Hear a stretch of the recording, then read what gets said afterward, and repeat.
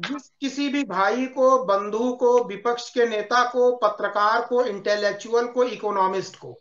BJP से जवाब न मिले आरएसएस से न मिले, कांग्रेस से न मिले, सपा से न मिले, मुझसे पूछ लिया करें।